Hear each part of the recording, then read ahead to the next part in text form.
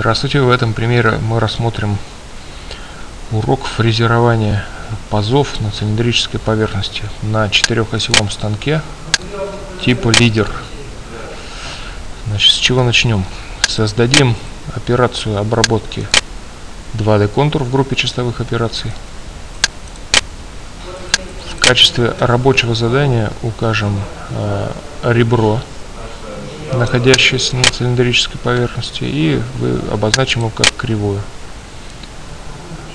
А, в качестве базовой поверхности э, необходимо будет указать тело вращения, то есть цилиндрическую поверхность.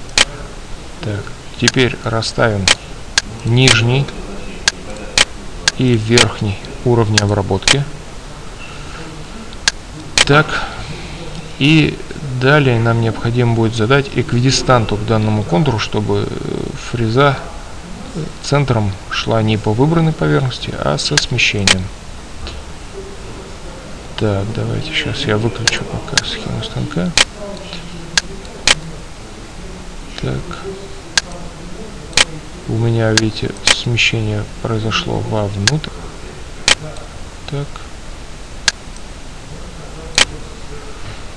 Все качество. Это мы прошли вдоль одной стенки, теперь точно такую же кривую укажем вдоль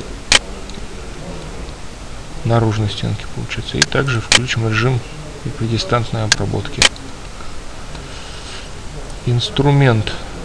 Я хочу задать количество проходов, значит, за два прохода. Инструмент выберем поменьше, 8, и зададим оправку вылет. У оправки установим 120 да. Произведем расчет. Уровнем проведем моделирование обработки.